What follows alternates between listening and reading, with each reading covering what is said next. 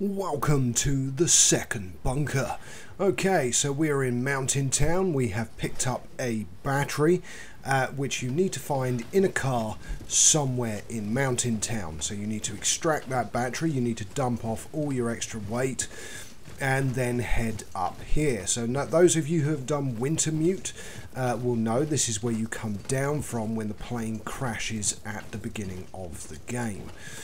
So we are basically backtracking the way that uh, you come down the mountain uh, to that uh, radio tower that you see in the Wintermute storyline.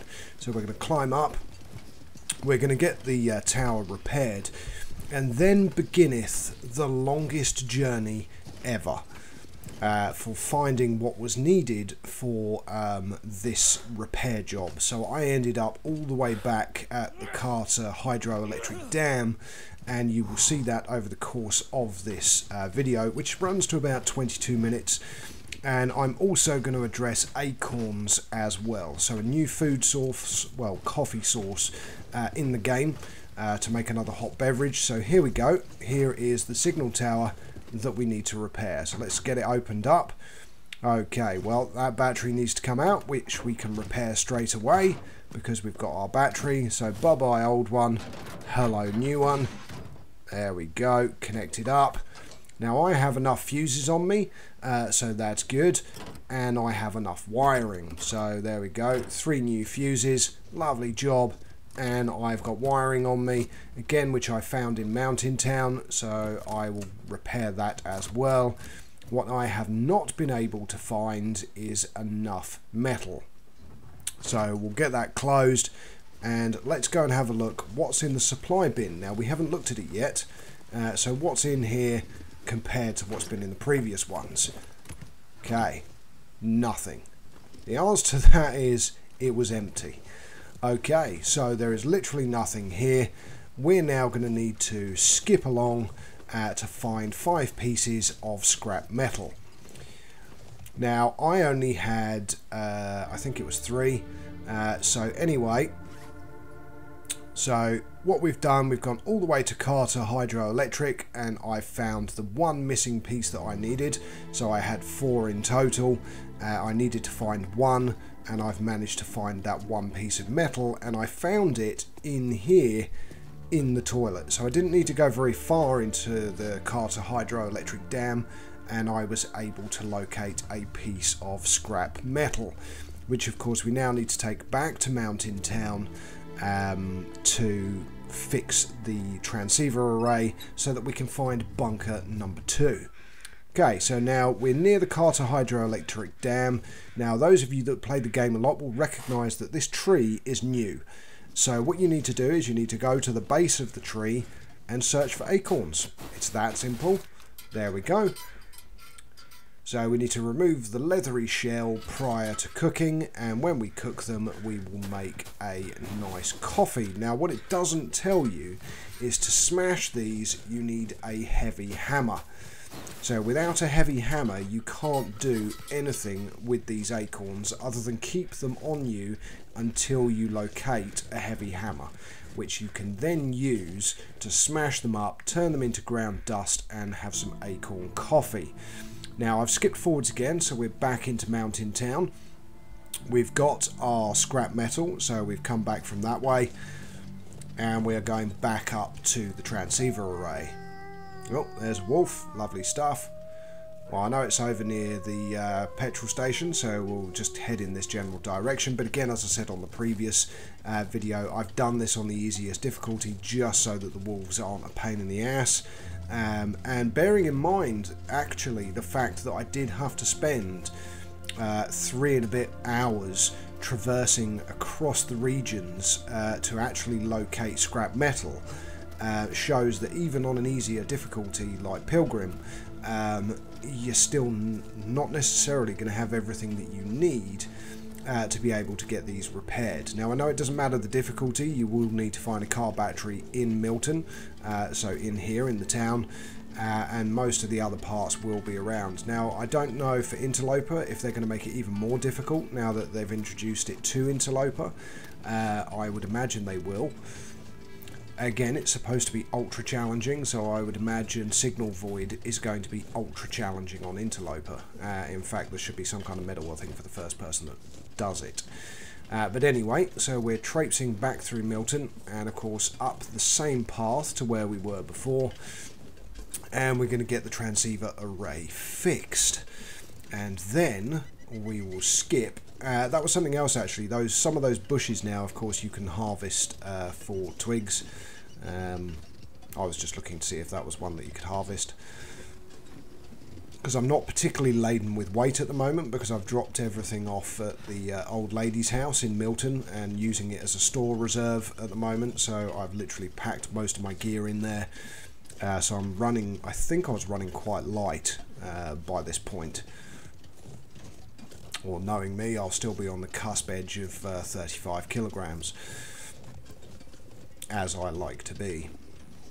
But again, up we go, climb up, and we will get this repaired, and then we will see what's what, because of course we're going to need two things. We're going to need an Aurora Borealis, and we are going to need um, the right region.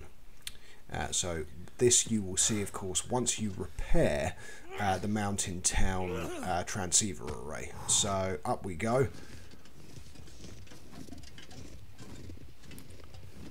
Again, not one that you can harvest.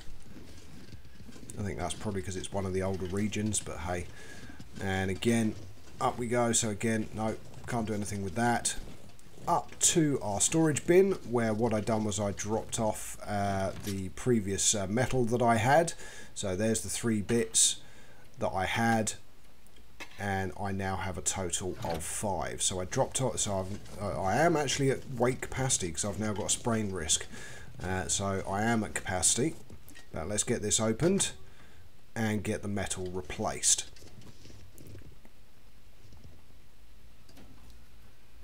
So we have our five pieces and we're using those five pieces to get this repaired. Lovely job and then of course all we have to do then is get it turned on and wait for an aurora. There we go. Lovely. Repaired. And again repaired. And of course as always don't forget switch it on. Because if you don't you'll it won't work so investigate signal in Hushed River Valley. So you can get to Hushed River Valley from Milton. Uh, you just need to head north. Um, but I will show you that anyway. So there we go. Let's uh, skippeth ye forwards. So we're still in Milton. There's the old lady's house. And what we're doing is we're going north and we're going to go up to the back end of the map Let's uh, maybe pick up some sticks. Uh, you never know when you're going to need uh, to be able to create a heat, a heat source if you get too cold. I'm apparently stuck on a snowdrift there. I think jump is something that should really be introduced to this game if I'm being honest. Um, but hey, there's obviously a lot coming over the course of the year, but those little bits on the floor that you can't walk past are hilarious, uh, like the uneven and broken road surfaces when you get stuck on them. Okay. Time to look for shelter. Yeah, no, it's not time to look for shelter yet, Mackenzie. We are going to carry on. I was thinking I may have... Uh, I could have probably put this at a higher speed, uh, but again, it doesn't really matter. It's just so you guys know where you are. So you've come out the north side of Milton. Uh, as you can see, I've already searched uh, these cars, mainly because I was looking for scrap metal. As I said, it was a lengthy journey. I searched pretty much the whole of uh, Mountain Town, uh, looking for scrap metal, so the farm, all the surrounding buildings, uh, the hobo place, there's some accelerant in here that I left behind last time. And now that my uh, capacity is lower, I can actually carry it, which is good. Always open up the visors um, you never know if you're going to find a memento and a memento key uh, to go and find something. So it's always worth checking. Kind of a side note, it's uh, an older part of the game, but just worth mentioning anyway. And again, we carry on north as the brisk winds rush at our back and the weather gets increasingly cold. Now, I will say I camped out in the church during a storm, uh, again while I was searching for metal scraps. So, uh, might as well uh, survey the local area. Uh, I think a lot of this I've uh, I've been surveying patches, so as you can see, uh, when I was in, that's what I was doing. Now you need to follow this up until you get to the corpse. There is an aurora, isn't that surprising? So that means our radio's already going to work. So let's go to our tools and use our radio. So we haven't got enough nighttime energy yet for it to be triggering. So it's not doing anything yet, but it will as the night progresses. So we'll just keep walking up the road because it's quite a trek, uh, to be honest. Um, if you know where the entrance to Hushed River Valley is, then obviously by all means carry on. Uh, schlep yourself up there and come back to this video uh, once you're ready.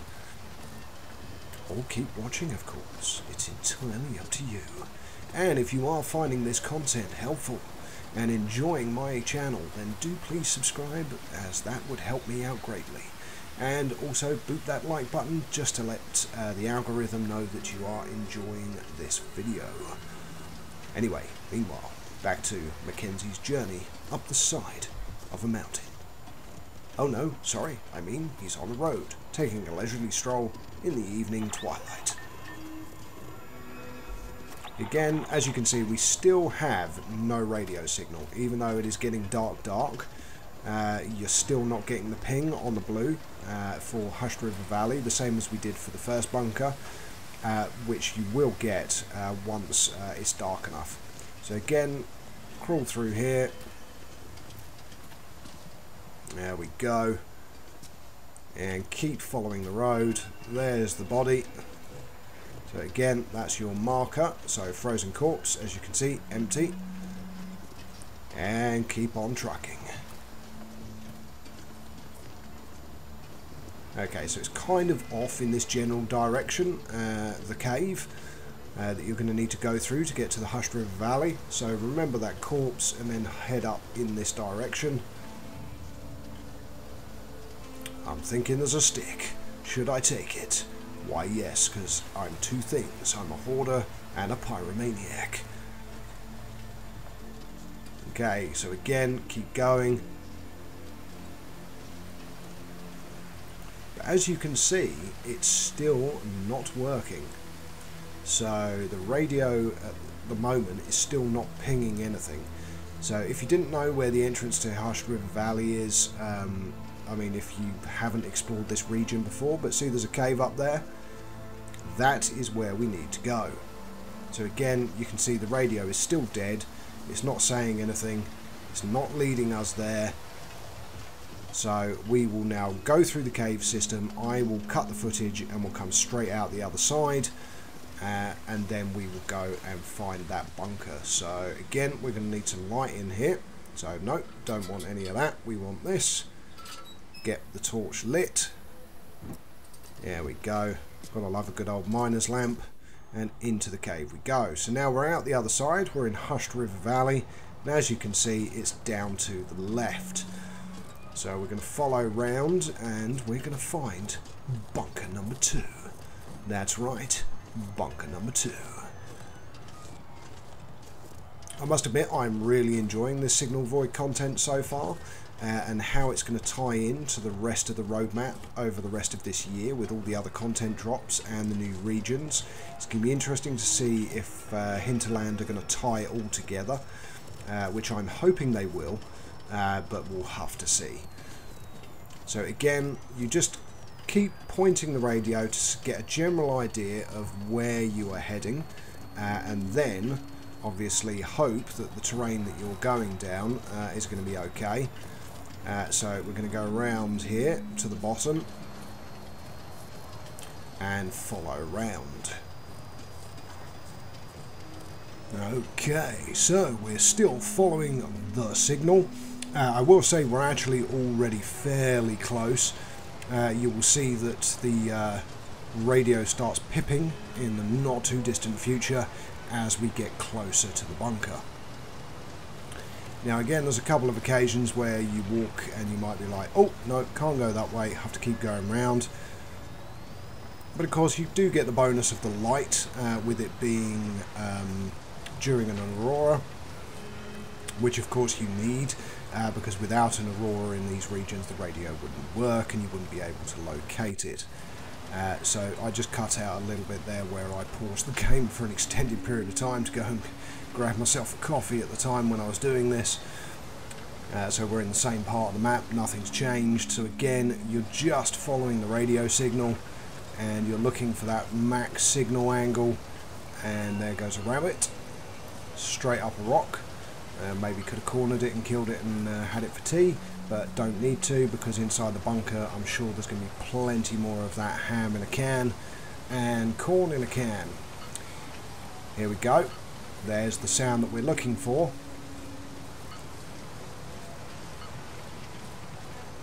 Okay, so again, no, weaker in that direction, stronger in this direction. Okay. It's getting louder. It's getting more frequent. And we are on a cliff. Can we go around the edge? Let's see. Yeah, are we going to be able to get down here? Oh, no. No, probably not. We may have uh, jinxed ourselves there. Okay, no, we're going to have to go back. Okay, where was the edge? Let's do a bit of running. Okay. Yeah, come on, Mackenzie. That wasn't that much of a fall. Because what we certainly don't want to do is, of course, lose the signal. So let's drop down here. There we go. Another little drop. No risk of breaking our ankles, I don't think. Oh, another drop by the looks of it. Yeah, there we go. Of course you're in pain, Mackenzie. Why not?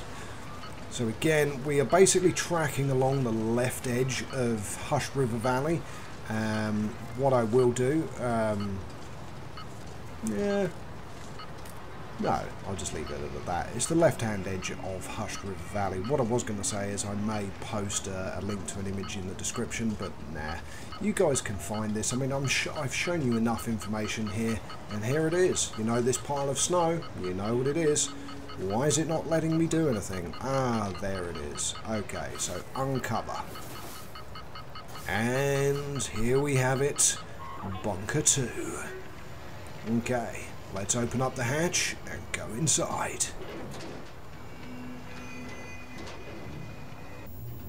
Okay, search bunker gamma. Okay, so we could do with our light, because although we've got the aurora and the lights are flickering, I much prefer the steady burn. Ah, scrap metal. Nice. I've now learnt that any piece of scrap metal must be taken and must be saved. Okay, in we go. Oh, of course, a couple of fuses. So some extra bits to repair our radios. Uh, anything else interesting here? Mm, metal shelf, which of course, if I had uh, a hacksaw, I would be able to break it down. Anything in the drawers? Oh, some beef jerky. Nice. Some more scrap metal. Nice, so that's two pieces. Ah, and some wires. So we've got some fuses, some wires, some scrap metal. There's a medicine shelf there. I'm sure there's some meds inside. There's another piece of scrap metal. Nice. Anything inside here? No. Again, there's a couple of lantern fuels down there as well. Do we have enough light to see what we're doing? We've got interview transcript 14. Session 14, Project Medical Officer interviewing patient 7. Return to the first instance. What did you see? It was at the beach.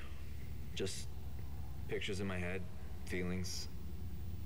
One of those beaches where the, the sand goes way down to the water, no drop off. I remember a, a gray day and dark water, no wind, no waves.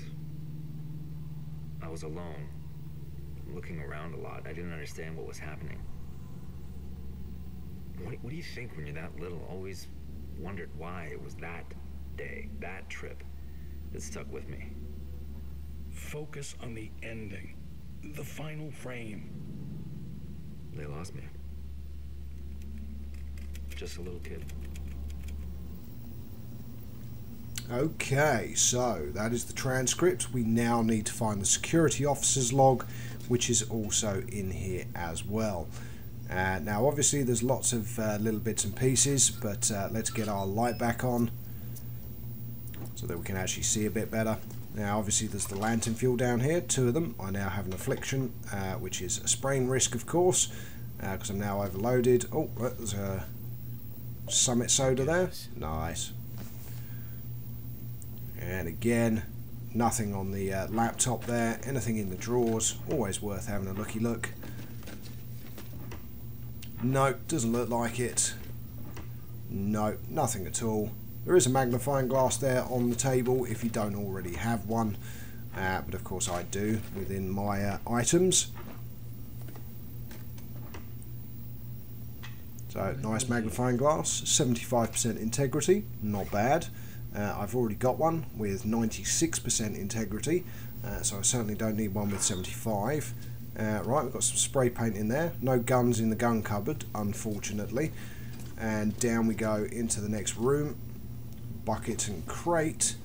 And then there it is, Security Chief's Log 6. Might as well not waste the fuel in our lantern. The island hasn't been making our lives any easier. Hauling loads from the coast to the inland bases has been slow and costly. And people are starting to notice our operation around the airfield and mine. It's getting harder to stay under the radar. But the character of the locals, both here and far inland, seems in our favor. There aren't any helping hands. Outsiders get ignored and then forgotten. And we play the part. Hmm. So the airfield we know, that's Forsaken Airfield, but the mine.